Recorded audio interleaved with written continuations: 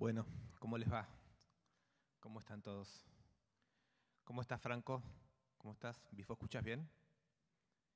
Vamos a, comenzar esta conversación con, Franco, eh, bueno, que está anunciada, muy esperada.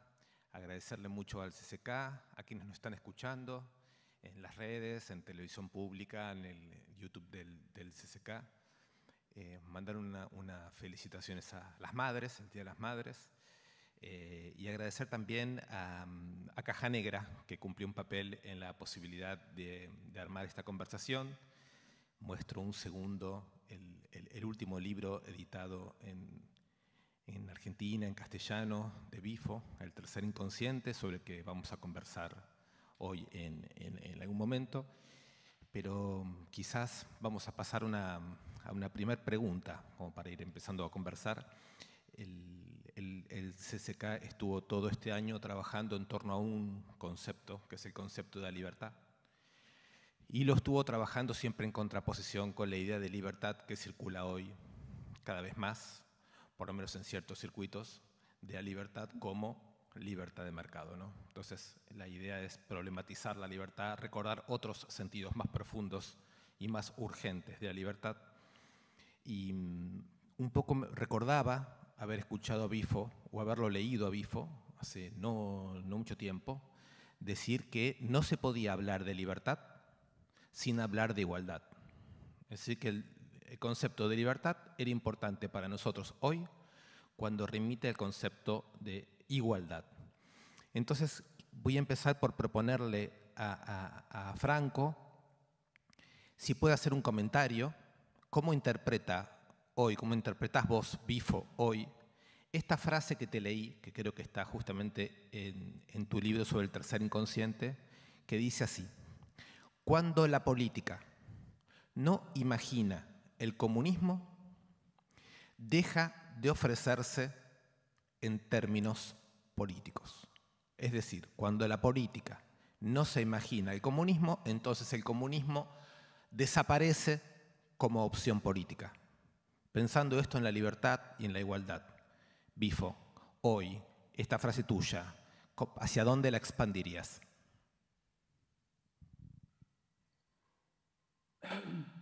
Yo creo, yo creo que la modernidad, el pensamiento moderno,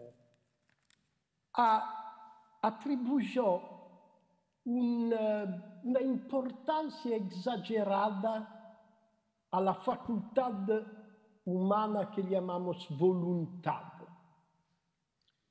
Cuando hablamos de libertad, hablamos eh, del, de, de, la, de, una potencia de la voluntad que, que, que eh, se piensa como una potencia infinita, sin límites.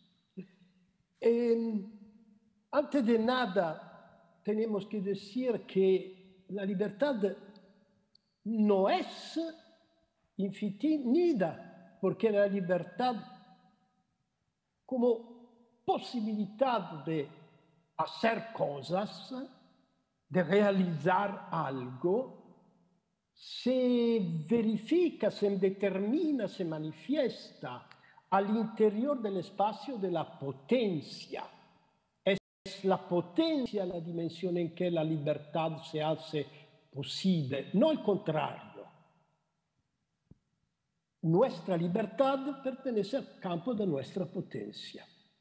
Eso significa también que la ilimitación, la pretesa ilimitación de la voluntad humana es, un, es, un, es algo que no existe. La voluntad.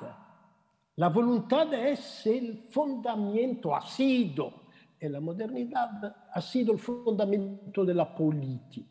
También la política, yo creo, ha sido eh, exagerada, la importancia que hemos, que hemos atribuido, a la, ha sido demasiada, exagerada.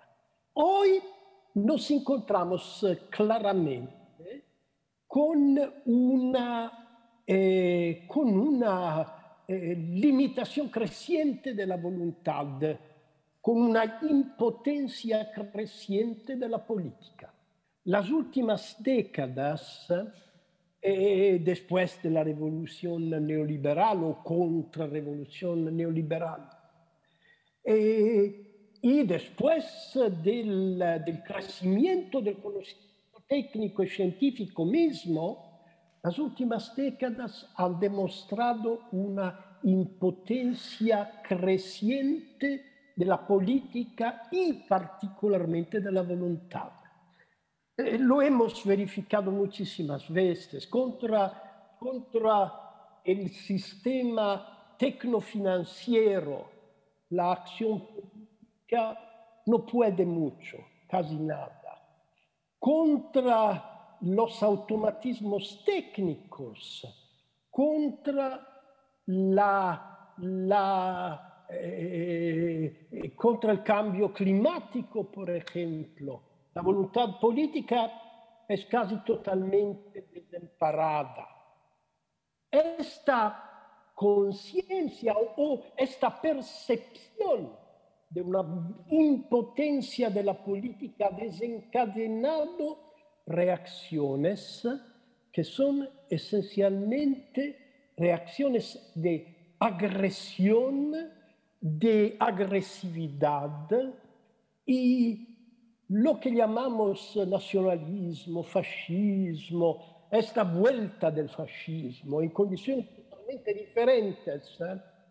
se explica pensando que la, la voluntad política frustrada reacciona de manera agresiva a esta frustración, a esta impotencia.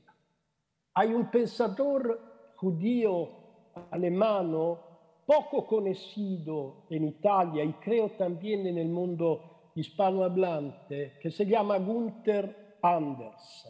Gunther Anders, eh, eh, que en los años 60 fue enormemente impresionado por el, fenómeno de la bomba nuclear, escribió textos donde eh, explicaba que el crecimiento de la fuerza de los productos de nuestro conocimiento científico y técnico, como la bomba nuclear, hoy se presentan frente a nosotros, se presentan como una fuerza que nosotros hemos producido y pero ahora nos impiden de decidir, de actuar, de vivir.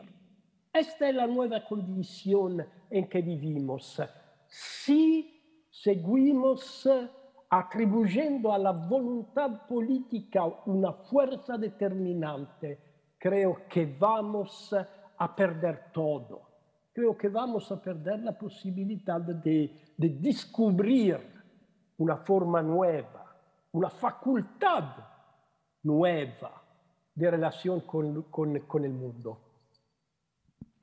Bien, es eh, muy desafiante lo que estás planteando, porque si la voluntad y la política no son el principal instrumento de transformación, entonces aparecen una serie muy grande de preguntas que necesitamos hacerte a ver cómo, cómo completas tu pensamiento. Pero quizás primero, ya que apareció la cuestión de la política, preguntarte por una serie de procesos últimos que a todos nos intrigan y sobre, sobre los cuales nos parece importante pensar un poco. Uno, por supuesto, es la elección en Italia reciente y el triunfo de Meloni, ¿no? Italia.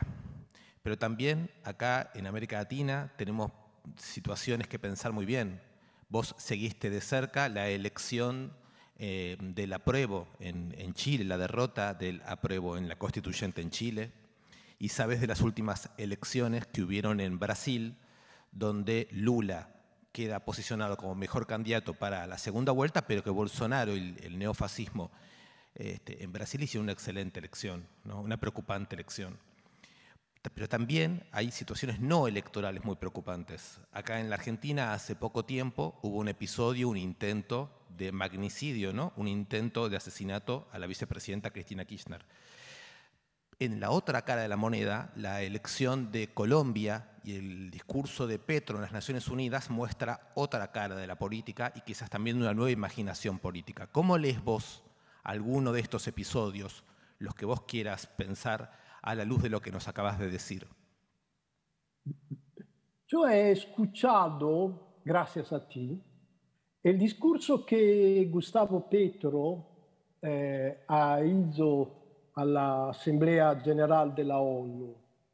Y me pareció, si puedo decirlo, que Petro insistió, sobre todo en la primera parte de su discurso, sobre algo que no tiene mucho que ver con la voluntad política, tiene que ver sobre todo con la sensibilidad, donde habla de de su terra maravillosa, del, de las mariposas amarillas, eh, del, de la selva amazona como un lugar de intercambio cultural, eh, estético, eh, erótico entre los hombres y la naturaleza, me parece escuchar un discurso que intenta salir de los límites de la, de la política. También el estallido chileno de otoño 2019, que a mí me entusiasmó muchísimo porque me recordó en una cierta manera el movimiento autónomo creativo de Bologna en el marzo 1977. Ah, también el estallido chileno era un movimiento claramente eh, político, si quieres, pero el esencial de esta explosión no era, en mi sentido, no era traducible en términos políticos. La elaboración de la Carta Constitucional, que yo he intentado de seguir a través de mis amigos chilenos, de entender qué estaba pasando, me parecía que la traducción política no lograba eh, eh, eh, traducir la fuerza de una inmediación social, existencial, erótica, de un cuerpo colectivo que se, se revuelta, que insurge y que intenta de crear un espacio, un espacio nuevo. Yo creo, beh, claro, no intendo, eh, eh, no intendo olvidar el, el efecto de lo que el fascismo es hoy, por ejemplo, en Italia, claramente hay, hay un, una, una vuelta de forma de acción y de discurso que pertenecen al pasado fascista. Pero al mismo tiempo no me parece que se trata de, del fascismo de hace ciento años. Y te digo por qué. Porque el fascismo de Mussolini era un movimiento de jóvenes, era un movimiento de expansión. Vamos a conquistar África, vamos a submitir los negros y las poblaciones.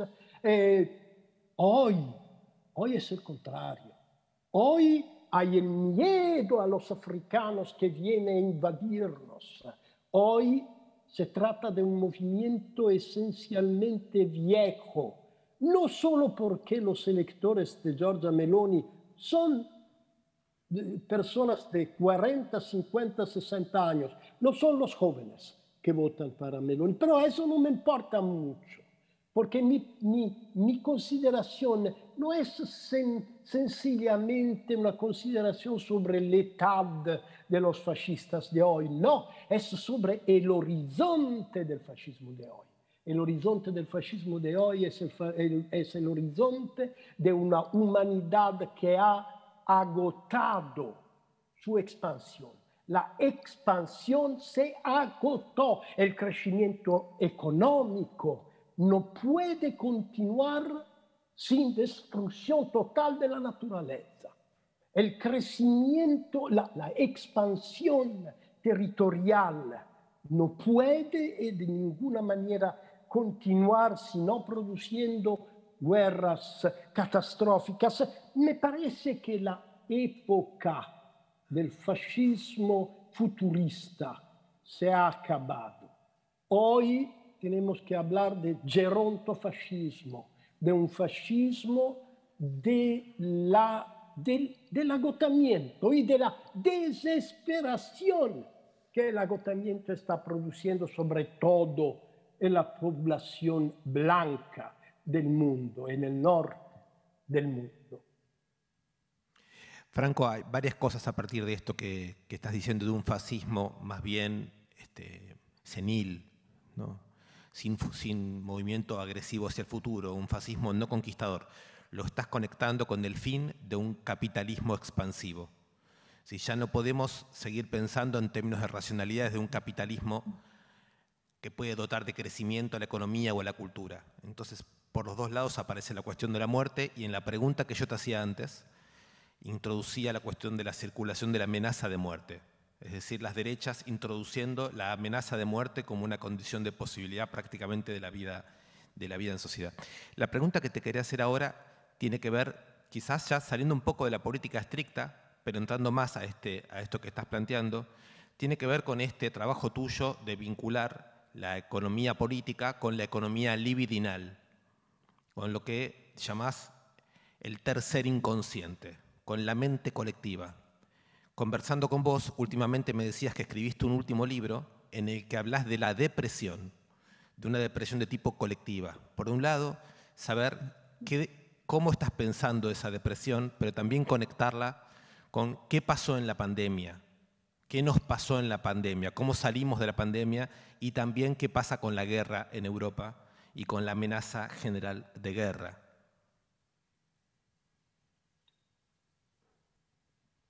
Sí, sí. A mí me llamó mucho la atención recién una frase que he leído en el libro de Sandor Ferenczi, un psicanalista de la primera generación freudiana, un colega, un de, de Sigmund Freud. Sandor Ferenczi es un psicanalista, un psicanalista húngaro que en 1919 eh, dijo eh, que nosotros, los psicanalistas, tenemos las herramientas conceptuales, terapéuticas, para tratar una neurosis eh, individual, el sufrimiento psíquico de una persona, pero no tenemos las herramientas para entender, para elaborar, para curar una psicosis de masa. Psicosis de masa. Esa es la expresión que usa eh, Sandor Ferenczi. Este problema de la psicosis de masa nunca ha sido elaborada por la política ni también por la psicoanálisis. Ver, verdad che Wilhelm Reich, in Psicologia di massa del fascismo, intenta di elaborare una explicación de un processo de, de psicosis eh, de, del, del, uh, della muchedumbre. Però mi pare che il, il discorso che Reich de, de, desarrolló en los años 20, 30, 40, hoy no puede funcionar. No me parece que el, el, el dado central es, sigue la represión eh, eh, sexual. Entonces yo he empezado a, a hablar de un tercero inconsciente. Yo sé, es una expresión un poco metafórica, que no funciona mucho desde un punto di vista della ortodoxia psicoanalítica, no, no importa, es una metáfora.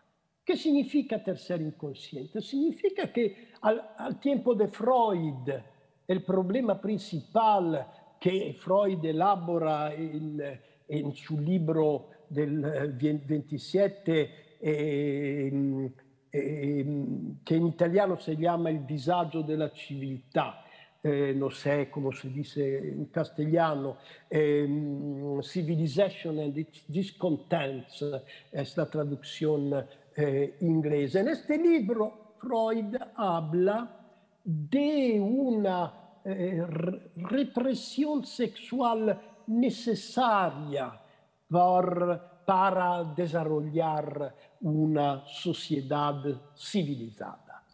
Esta primera interpretación de la relación entre inconsciente, sexualidad y vida social cambia en los años 60, 70, durante la revolución sexual y sobre todo durante el cambio social que se prepara que explode en los años 80 con la eh, la afirmación del neoliberismo.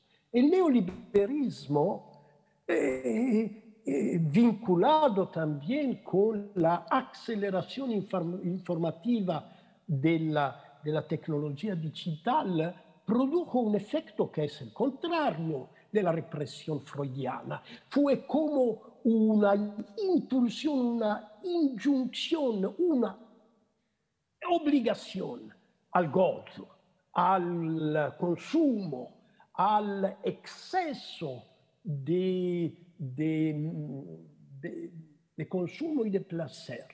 Un exceso que no produjo mucho placer, de hecho, porque la, la incrementación del deseo se encontraba en una situación de constante de constante imposibilitación del, del, del placer.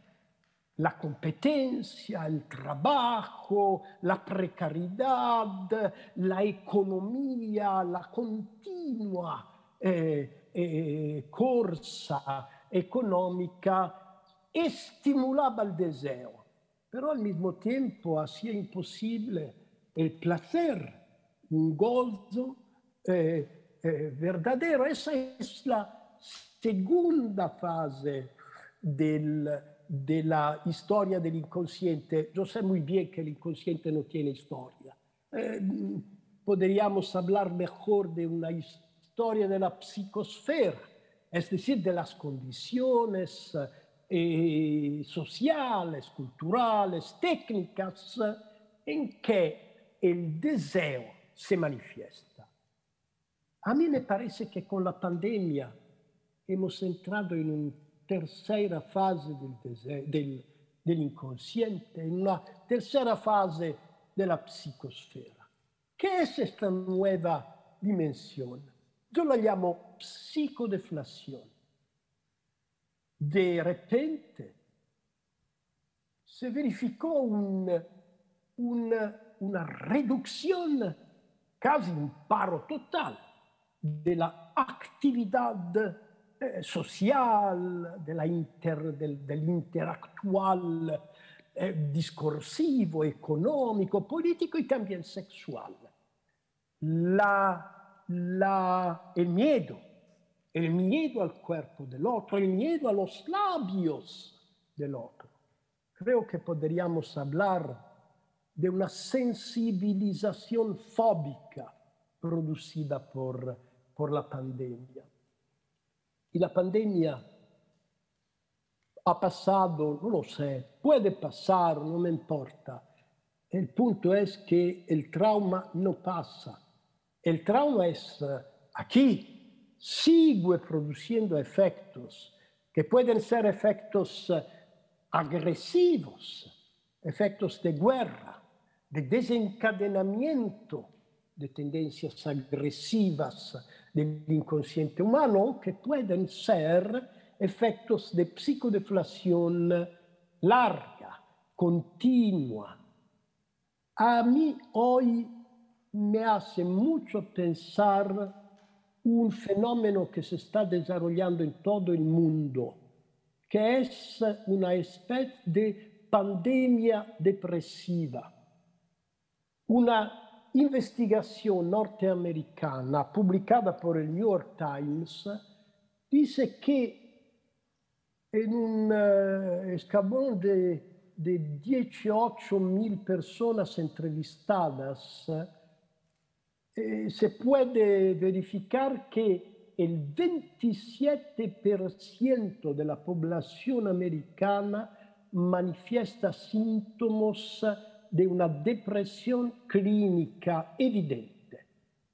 Pero si vamos a analizar los datos relativos a la población entre 15 y 28 años, la proporción, la, la cifra sale a, eh, eh, sube a 54%. 54% de jóvenes que manifiestan síntomas evidentes de una depresión clínica es enorme. Significa el paro total de la vida eh, social. Yo no creo que, yo no creo en esto, en esta pandemia depresiva. A mí me parece que hay un, malentendido, que hay algo que tenemos que mejor entender en el comportamiento, que es una depresión. Decimos que una depresión es una caída del deseo. Cuando invertimos nuestro deseo en un objeto, en un mundo, en una en un ritmo de vida y después fracasamos. No podemos obtener lo que deseábamos. La depresión de que habla Mark Fisher, por ejemplo, una depresión que se funda sobre el sentimiento de un fracaso de valores ideológicos, de esperas económicas, eróticas, sociales, o la depresión de que habla mm, Miguel Benasayag en su libro sobre las pasiones tristes, un futuro que se vuelve, no, que no es promesa, que se vuelve en amenaza. Esa es la depresión. Hoy yo creo que estamos enfrentando, estamos eh, encontrando algo de diferente. Nos se trata de una caída de deseo, se trata de una decisión de no desear nada. Esta es la novedad, el, la caída de la energía, porque la energía produce sufrimiento. A mí me parece que en el comportamiento de la primera generación que aprendió más palabras por una máquina que por, su, que por la voz de su madre. Hay un, un, un comportamiento que no es un comportamiento de depresión, no hay sentido de culpa, no hay el tipo de sufrimiento que la depresión lleva consigo, hay algo de diferente hay lo que podríamos a, a, definir un, una sospensión, un retiro, una, un rechazo al deseo. Puede ser o no, o no. ¿Qué es el deseo?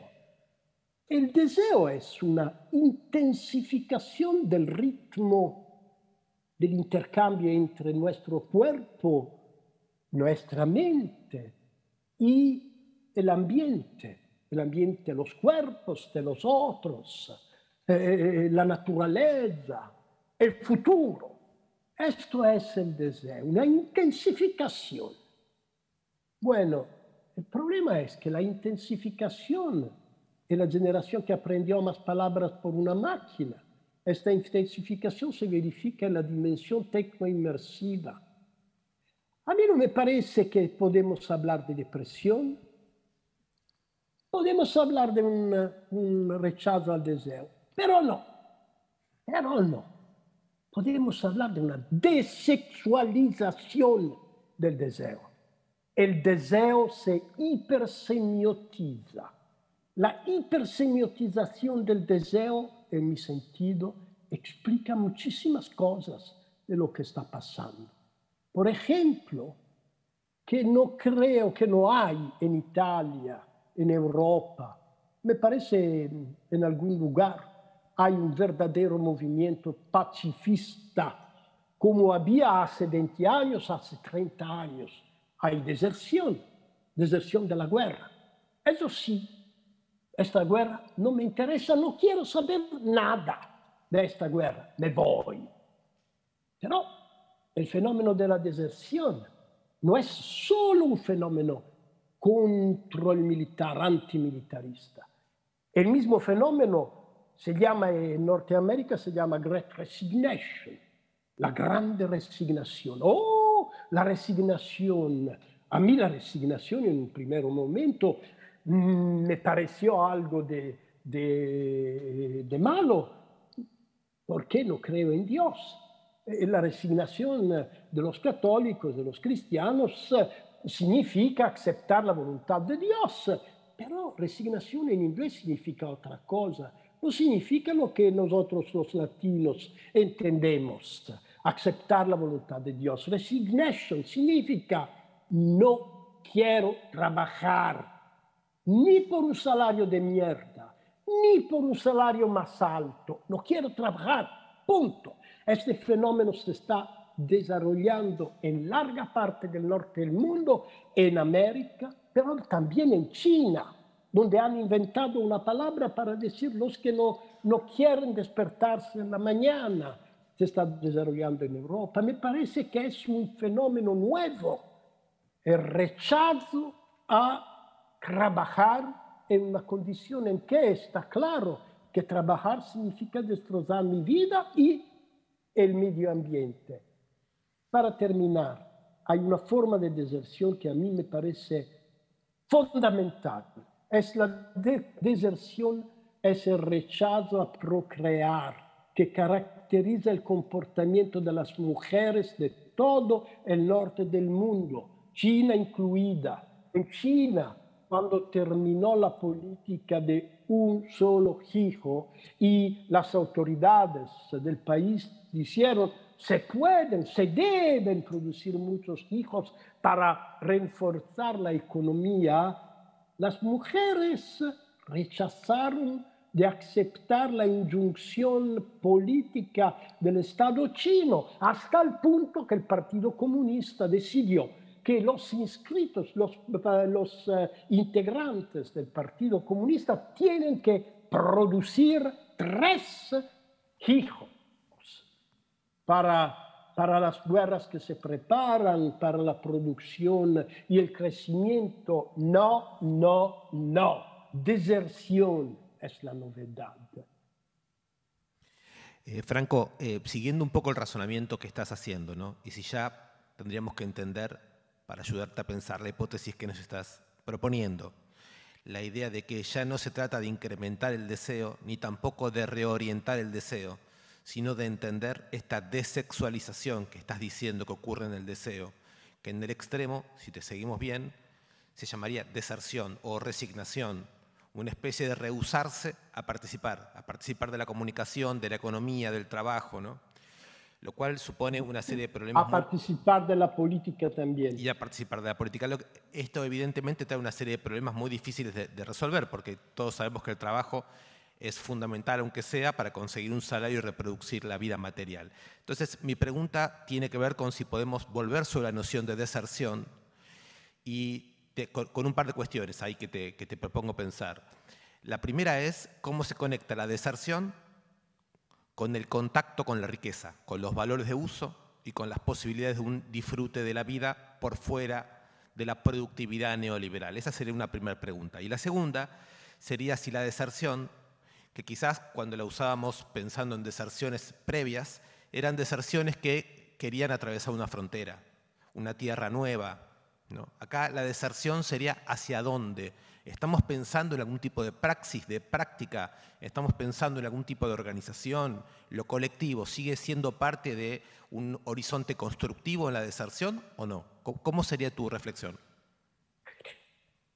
Yo no, no estoy Eso es importante desde mi punto de vista. No estoy proponiendo nada, no es mi intención de proponer un programa político. La mi intención es de interpretar. Tenemos que interpretar.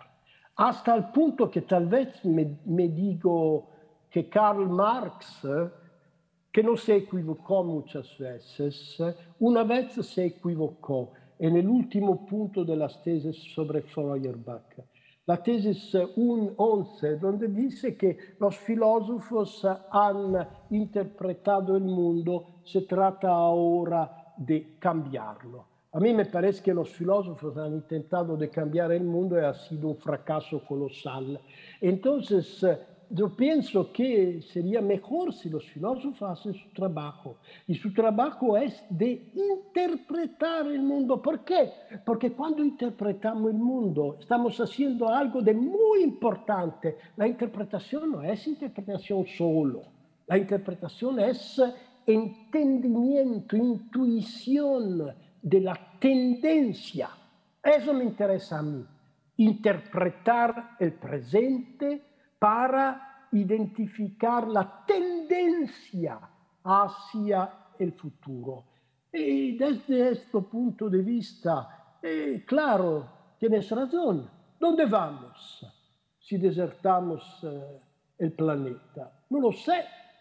Donna Haraway está proponiendo una forma de deserción que significa nueva autoidentificación. No somos humanos. Somos otra cosa. Somos critters. Somos partículas de una naturaleza que está sí fracasando desde el punto de vista superior del humano, pero que está evolucionando de cualquier manera que no podemos entender. Cuando los jóvenes rusos y ucranianos también desertan y desertan mucho, los rusos desertan muchísimo. Parece que medio millón de rusos han decidido que de la patria no le importa nada. Y me parece que también muchísimos ucranianos empiezan a pensar la misma cosa. Y cuando desertas, ¿dónde, dónde, dónde, dónde vas? vas?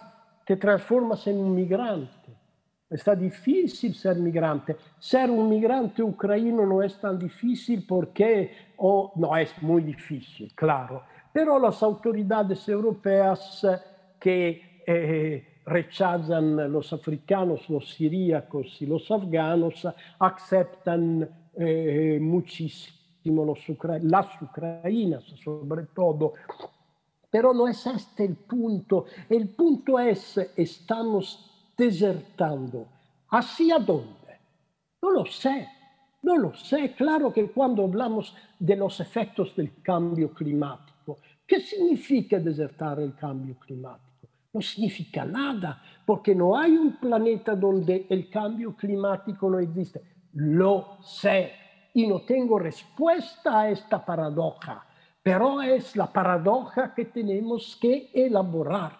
Tenemos que elaborar una condición en que la nueva generación, que es una generación en mi, en mi sentido, una generación hipersemiotizada y al mismo tiempo irónica, de una manera amarga puede ser, una generación que ha entendido que no hay futuro.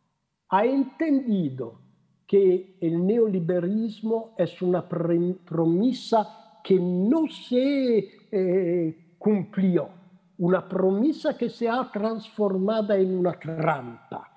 Y cuando lo entienden, ¿dónde van? Como no hay un otro planeta.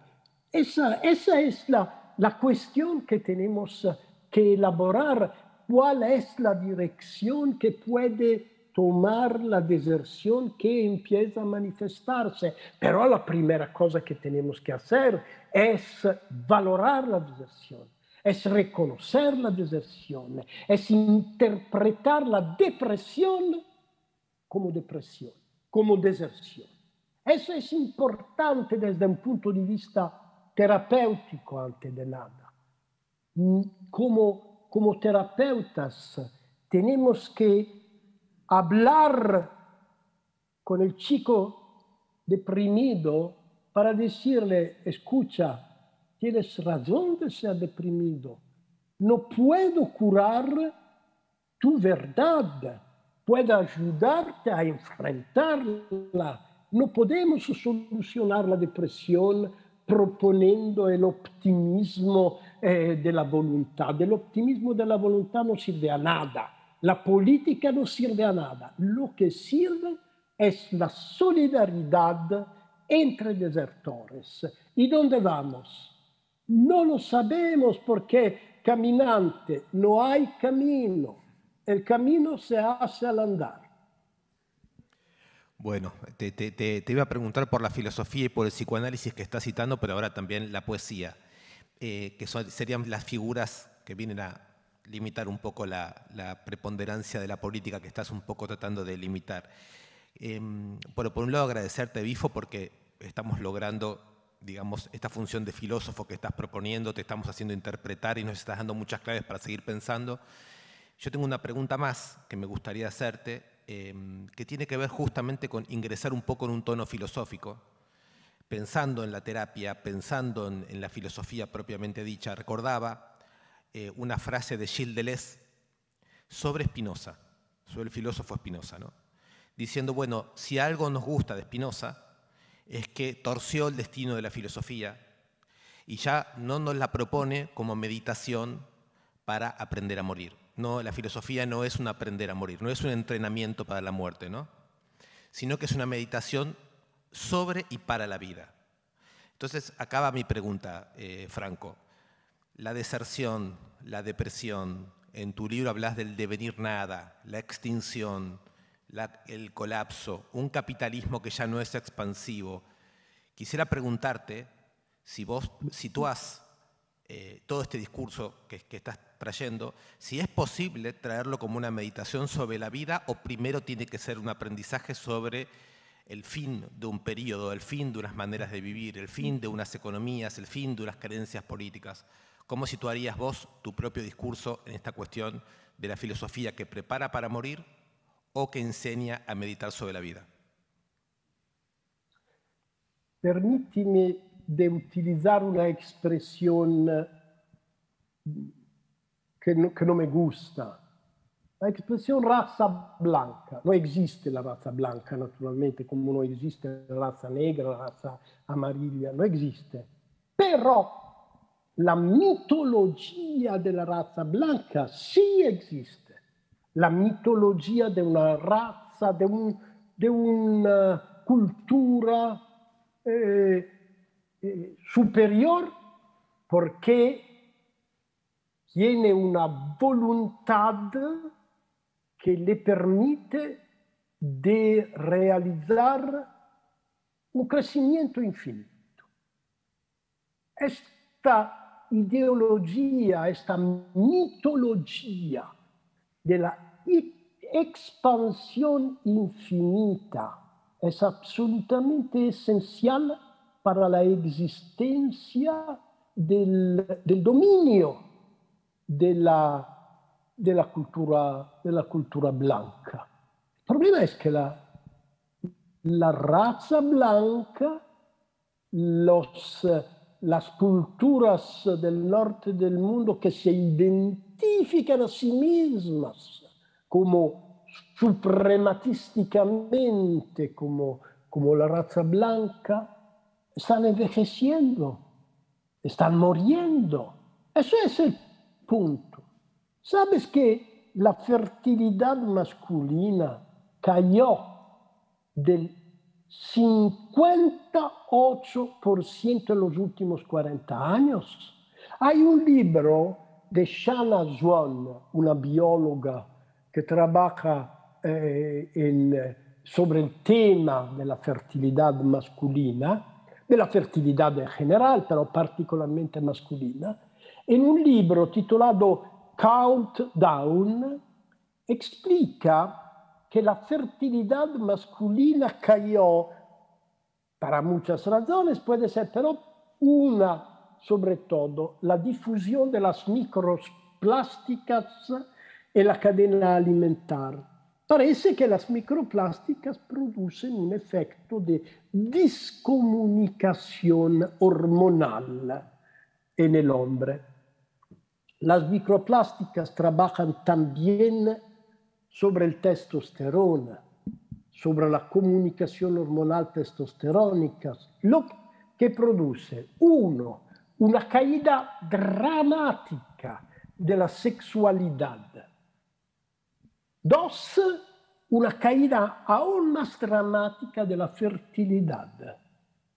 El efecto es que quien ha sido más expuesto a las microplásticas hoy están envejeciendo. Y el envejecimiento de los europeos, por ejemplo, de los italianos. Es un tema político mayor. Giorgia Meloni en su programa político ha puesto como punto uno, como primer punto de su programa, el relanzamiento de la, de italiana. Vasto programa, eh, como diría el general de Gaulle. Vasto programa c'est imposible. Se trata de algo que no, no. ¿Qué hace Meloni para favorecer la fertilidad masculina? Ah, sí, damos dinero, mucho dinero a las mujeres. Si producen tres hijos, eh, bueno, uno, producir tres hijos es casi imposible para, eh, eh con las condiciones de vida mm, actuales y con la baja de la, fertilidad y con la baja del deseo sexual. Pero, de acuerdo, damos dinero a las mujeres y vamos a ver si se ponen a producir muchos hijos para la patria. No creo que acontecerá. No creo. ¿Por qué? Porque la raza blanca tiene que enfrentar una cosa sola, su muerte, su extinción la extinción de, una, de, de una amplia parte de la humanidad dominadora es inevitable, pertenece a un proceso de tipo biológico, culturale, psíquico y al final también a la conciencia hay una película magnífica de una, una directora libanesa que se llama eh, Nadine Labakis. La película se llama Cafarnaum y cuenta, racconta la historia de un niño de 11 años eh, siríaco. Es un refugiado siríaco que vive en Beirut este niño vive en condiciones horribles de miseria, de violencia, en una metrópolis eh, pobre, desesperada. A un cierto punto este chico va a hablar con un juez, con un policía, eh, y pide de poder denunciar sus padres por el hecho de haberlo puesto en este mundo. Cuando he visto esta película, me pareció entender que la procreación hoy tiene que ser cuestionada también desde un punto de vista de la relación, de nuestra relación con el futuro. Hay una generación nueva que se da cuenta que los hemos eh, procreado, los hemos producido, pero no tenemos eh, un mundo para habitarlo, para acogerlos. Eh, bueno, la muerte, la extinción, es una condición que podemos esconder, rechazar, re, re, re, rimuovere, remover. Eh, eh, bueno, el fascismo es exactamente el rechazo de ver un proceso inevitable. Eso es el fascismo en Italia. La voluntad de salvar la reproducción de niños blancos por evitar que los africanos puedan venir en nuestro, en nuestro territorio. Es una locura completa, naturalmente, pero es el fundamento psicótico de un sentimiento neoreaccionario que se funda sobre el deseo de no ver la extinción inevitable. ¿Qué tenemos que hacer? Tenemos que, que, pensar la muerte, pensar la extinción como una perspectiva que no es solo inevitable, pero que es enriquecedora. El envejecimiento no es solo el fracaso, no es solo la impotencia, es también la invención de nuevas formas de relación con el cuerpo, con el medio ambiente, con la realidad, con los otros, con el pensamiento, con la imaginación. El sentido más rico del envejecimiento es el proceso de devenir nada, es la relación con la muerte. Porque solo si miramos la muerte en los ojos, podemos vivir la vida como una vida feliz, feliz, a pesar del envejecimiento, a pesar de la muerte, gracias al envejecimiento, gracias a la muerte. Bueno, Franco, este no, podría ser el final porque nos dejarías a todos demasiado conmovidos y sin saber tampoco exactamente este, cómo, cómo, cómo interpretar una serie de posibilidades lo que decís, por lo que te propongo en un ultimísimo minuto lo siguiente. Vos... Habla lentamente, Diego, no te entiendo. Perdón, vamos más lento. Decía que estoy intentando en el último minuto producir un otro final. Y entonces te quería preguntar breve, por un, fragmento de uno de tus últimos libros, en los que vos recordás que Rosa Luxemburgo elabora una consigna frente al final y dice socialismo o barbarie. En ese mismo libro vos decís que frente al final no hay solo una interpretación, sino también una consigna, y decís comunismo o catástrofe. Pregunta, Bifo, último, como para, como para producir un, final, este, un, otro final. ¿Qué quiere decir comunismo o catástrofe hoy para vos? ¿O si la consigna es otra o si la consigna sobra? ¿O si la consigna? Sobra, si está de más. Digamos, tu propia consigna de comunismo o catástrofe en este momento, ¿Qué te hace pensar con respecto a lo que venís diciendo?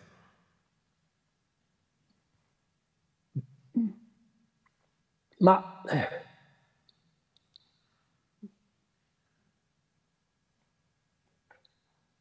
la condición catastrófica no es una condición que impide el pensamiento. Sí, claro, es muy difícil pensar cuando todo parece fracasar intorno a ti. Pero la catástrofe es esencialmente una, lo dice l'etimología misma de la palabra catástrofe, que en griego significa catastrophein, moverse más allá. Eh, la catástrofe es una condición que descubrimos cosas que no podíamos eh, ver antes.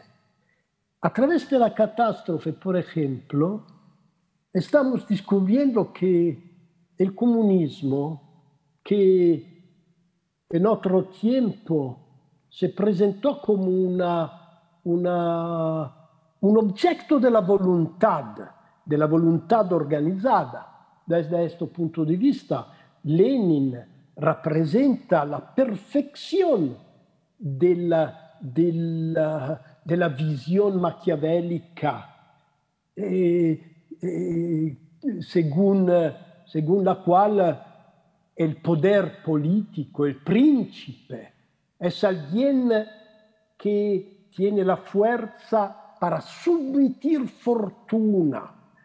Fortuna en el sentido latino significa la imprevedibilidad de los acontecimientos del mundo. Y para Machiavelli, el príncipe es poderoso porque tiene la capacidad de, de submitir fortuna, que es fémina, naturalmente. Y en cuanto fémina, es imprevedible y capriciosa. Perfecto. La política moderna ha sido exactamente eso, un intento, tal vez exitoso, tal vez no, de submitir la imprescindibilidad de la, de la acontecimientos del mundo, submitir la voluntad masculina de una eh, eh, de un progetto, di un progetto mentale. Lenin rappresenta il punto di llegada de esta, de esta visión masculina y reductora del, della, eh, della politica, del gobierno. A me parece que esta potencia de la voluntad desvaneció por una razón muy simple, que la complejidad del mundo se volvió demasiado compleja, demasiado veloz para un gobierno de la voluntad organizada. Cuando hablamos de complejidad, siempre hablamos de velocidad. ¿Qué es la complejidad? Es una velocidad creciente de los acontecimientos relevantes para un cerebro. Cuando hablamos de caos, ¿de qué hablamos? Hablamos de una complejidad que se ha vuelto demasiado veloz para una capacidad de elaboración consciente en el tiempo. Nos encontramos en una condición en que la voluntad puede cada vez menos. Nos encontramos pero también en el momento en que hay otras facultades, antes de de todas la sensibilidad que nos obliga a relacionarnos de manera diferente con un ambiente que se ha vuelto catastrófico. El comunismo fue pensado como un proyecto político de la voluntad. Fracasó. No porque el comunismo era malo, porque la complejidad del mundo se transformó en caos ingobernable. No tenemos que pretender un gobierno imposible. Tenemos que entrar en una relación sensible con microprocesos y macroprocesos que no podemos controlar. Tenemos que diluirnos, que disolvernos en estos procesos como clitas, como minúsculas partículas que participan en un proceso que no podemos gobernar, pero podemos sentirlo, podemos percibirlo, podemos, como dice Félix Guattari, eh, podemos intentar de sintonizar nuestros retornelos con la, la, la realidad caótica que eh, nos, nos entorna, que nos eh, rodea. E, eh, Félix Guattari habla en su último libro de espasmo caósmico. Unos espasmos es lo que estamos viviendo, una aceleración dolorosa de, de, nuestro cerebro, de nuestro cuerpo, de la relación con el mundo. La, la caosmosis es justamente una capacidad de la sensibilidad de sintonizar nuestro cerebro con una velocidad extrahumana, posthumana, más que humana. Bueno, Franco, muchísimas gracias por la, por la conversación. Uno se queda, se queda pensando si existe alguna manera de, de, extraer formulaciones precisas de qué es lo que hemos escuchado, qué es lo que estamos conversando. Quizás uno dice, bueno, quizás hay una vida sensible que tiene que ocupar el lugar que hasta aquí ocupó la vida de la voluntad. Quizás, frente al catástrofe del neoliberalismo, esta dimensión de lo sensible que ahora traes y esta dimensión de una suerte de percepción de microprocesos que nos, que nos sacan de la voluntad de organizar el caos sea eh, la posibilidad terapéutica, filosófica, quizás ya no política, quizás es una política. Supongo que eso queda para próximas conversaciones. Agradecerles a quienes siguieron la conversación por las redes, agradecerles a quienes estuvieron aquí presentes, agradecer al CCK bueno, por la hospitalidad y Franco, eh, espero que estas conversaciones sigan por, por mucho tiempo porque evidentemente este, mirar la muerte que nos estás proponiendo tiene algo de fuera del tiempo y tiene algo de urgente, ¿no? que son los dos tiempos en los que quizás nos vivimos encontrando.